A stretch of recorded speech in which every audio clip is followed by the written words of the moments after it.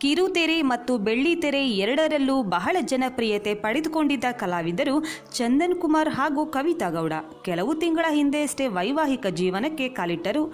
ಚಂದನ್ ಕವಿತಾ ಮದುವೆ ಬಹಳ ಸರಳವಾಗಿಯೇ ನೆರವೇರಿತು. ಇತ್ತೀಚೆಗೆ ನಡೆದ ಕವಿತಾ ಗೌಡ ಅವರ ಇಪ್ಪತ್ತೊಂಬತ್ತನೇ ವರ್ಷದ ಹುಟ್ಟುಹಬ್ಬವನ್ನು ಬಹಳ ಸ್ಪೆಷಲ್ ಆಗಿ ಆಚರಿಸಿದ್ದಾರೆ ಚಂದನ್. ಫ್ಯಾಮಿಲಿ ಮತ್ತು ಕ್ಲೋಸ್ ಫ್ರೆಂಡ್ಸ್ ಜೊತೆ ಕವಿತಾರ ಹುಟ್ಟುಹಬ್ಬದ ಸೆಲೆಬ್ರೇಷನ್ ನಡೆಯಿತು.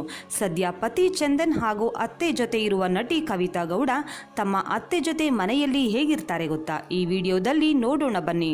ನೋಡುವ ಮುನ್ನ ನೀವು ಕೂಡ ಚಂದನ್ ಕವಿತಾ ಅಭಿಮಾನಿಯಾಗಿದ್ದರೆ ಈ ವಿಡಿಯೋಗೆ ಒಂದು ಲೈಕ್ ಮಾಡಿ.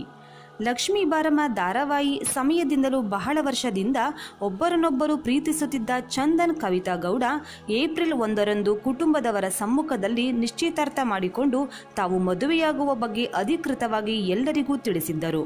ಸೋಷಿಯಲ್ ಮೀಡಿಯಾದಲ್ಲಿ ಬಹಳ ಆಕ್ಟಿವ್ ಆಗಿರುವ ಚಂದನ್ ಕವಿತಾ ಆಗಾಗ ತಮ್ಮಿಬ್ಬರ ಕ್ಯೂಟ್ ಫೋಟೋಗಳು ಮತ್ತು ವಿಡಿಯೋಗಳನ್ನು ಅಭಿಮಾನಿಗಳ ಜೊತೆ ಶೇರ್ ಮಾಡಿಕೊಳ್ಳುತ್ತಾರೆ.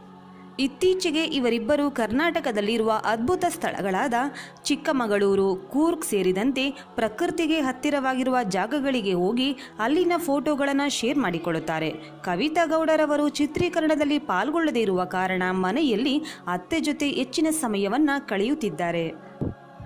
ಬಹಳ ವರ್ಷಗಳ ಒಡನಾಟ ಪರಿಚಯ ಇರುವ ಕಾರಣ ಅತ್ತೆ ಸೊಸೆ ಬಾಂಧವ್ಯ ಚೆನ್ನಾಗಿಯೇ ಇದೆ. ಮದುವೆಗಿಂತಲೂ ಮೊದಲು ಕೂಡ ಚಂದನ್ ಮನೆಗೆ ಹಲವು ಬಾರಿ ಬಂದಿದ್ರು ಕವಿತಾ.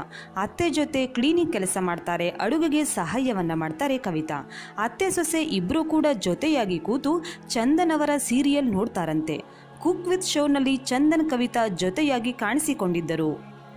ಇತ್ತೀಚೆಗೆ ನಟಿ ಕವಿತಾ ಗೌಡ ರವರು ತಮ್ಮ ಅತ್ತೆಯ ಜೊತೆ ಫೋಟೋಗಳನ್ನು ಸೋಷಿಯಲ್ ಮೀಡಿಯಾದಲ್ಲಿ ತಮ್ಮ ಅಭಿಮಾನಿಗಳ ಜೊತೆ ಹಂಚಿಕೊಂಡಿದ್ದಾರೆ.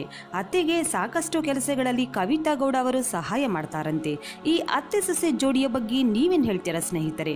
ನಿಮ್ಮ ಅನಿಸಿಕೆಗಳನ್ನು ತಪ್ಪದೇ ಕಮೆಂಟ್ ಮಾಡಿ. ಹಾಗೆ ಈ ವಿಡಿಯೋ ಇಷ್ಟವಾಗಿದ್ದಲ್ಲಿ ಲೈಕ್ ಮಾಡಿ, ಶೇರ್ ಮಾಡಿ, ಹಾಗೆ ಹೆಚ್ಚಿನ ಅಪ್ಡೇಟ್ಸ್ಗಾಗಿ ನಮ್ಮ ಚಾನಲನ್ನು ಸಬ್ಸ್ಕ್ರೈಬ್ ಮಾಡಿ. ಥ್ಯಾಂಕ್